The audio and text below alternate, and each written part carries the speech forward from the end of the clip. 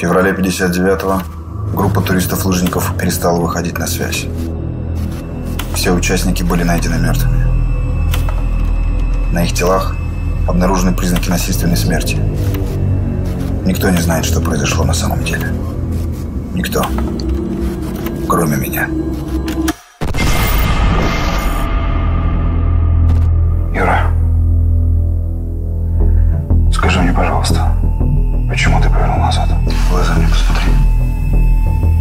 Почему ты свернул с маршрута? Я знал, что они все умрут. Хотите, не верьте, но все время, пока мы шли, как будто рядом что-то было. Я просто испугался.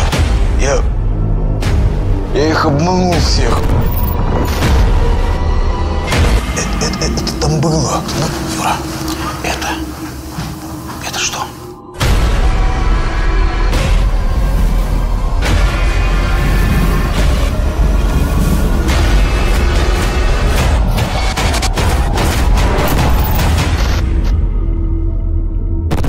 Основано на закрытых материалах дела от 6 февраля 1959 года.